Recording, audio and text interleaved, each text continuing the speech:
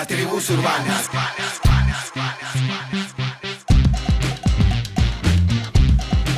El personaje urbano de hoy me encanta, realmente porque he tenido muchas que me han sabido dar mucha sabiduría y mucha enseñanza. El personaje urbano de hoy, la maestra.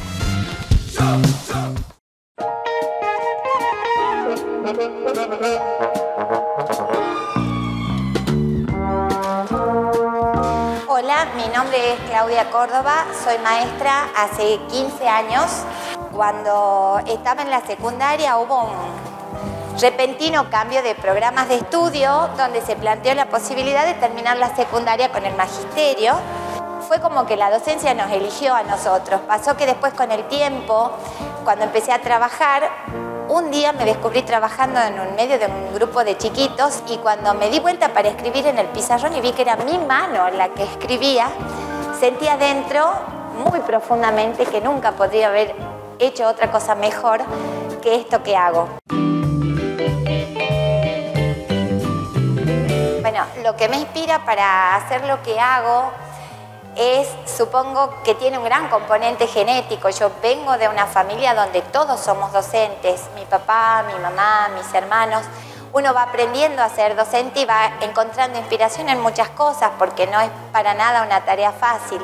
La inspiración se encuentra en, en la convicción que uno tiene por lo que hace, porque uno cree que la educación sirve, que la educación mejora, que la educación transforma. Eh, cada éxito de los chicos, cada sonrisa, cada momento de felicidad que se comparte, o no de tanta felicidad, pero sí de aprendizajes y momentos que te ayudan a construir. Son como permanentes retroalimentaciones que nos ayudan a seguir y que inspiran y que estimulan y que ayudan a, que uno pueda sostener lo que uno hace.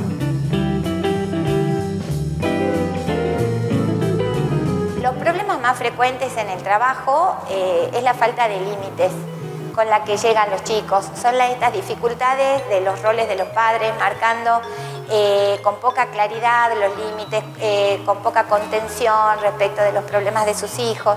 La otra cosa y el otro gran problema es la falta de valoración del esfuerzo como medio para conseguir honestamente las cosas.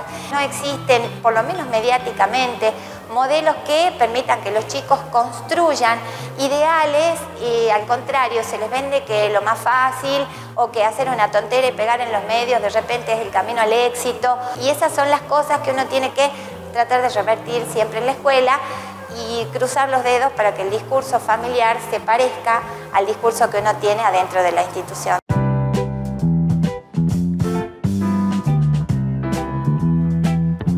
Anécdota. Esta es la historia de cómo me salvó el chaqueño. Yo trabajaba en una escuela de Villa, eh, cerca de Villa Lavalle.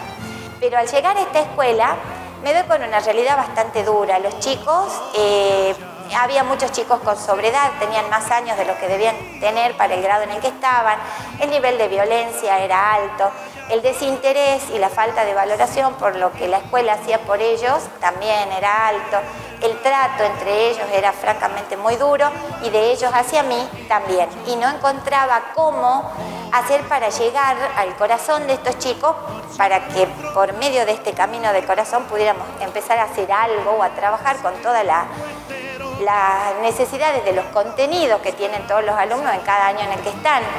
No lo conseguía y no lo conseguía hasta que un día los encuentro tarareando una canción del chaqueño en el recreo.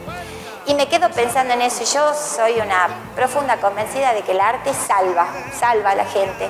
Y conseguí una canción que justo venía relacionada con el tema que yo tenía que enseñar, que era el tema de Salta y las regiones geográficas. Y le llevé este, esa canción que dice Yo soy de allá, de ese pago tan querido.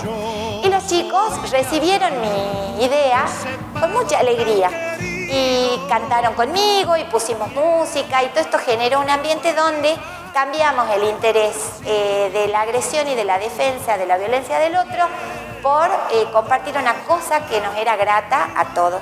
A partir de esta actividad pudimos ir rescatando lo que cada uno tenía, como su experiencia personal, eh, en sus historias familiares. Muchos de estos chicos tenían familiares en la región del Chaco y sobre todo sentía que con esa sensación por parte de ellos de que lo que tenían era valioso. Y una vez que los conseguí y que armamos todo nuestro trabajo por esas cosas que tiene el sistema, se me acabó la suplencia y los chicos volvieron con la maestra anterior. Pero bueno, esas son este, las cosas que tiene esta tarea y la organización del sistema como es.